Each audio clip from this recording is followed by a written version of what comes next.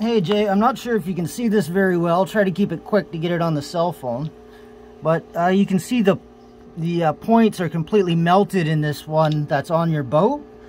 So I'm not sure what's caused it yet, but it's completely, you see it's supposed to make a contact. This little bar here is supposed to contact on that point there, but it's completely melted off. So there may be a, it's wired wrong, but I definitely need a points and condenser for this one to work. So I gotta take a look at your other one.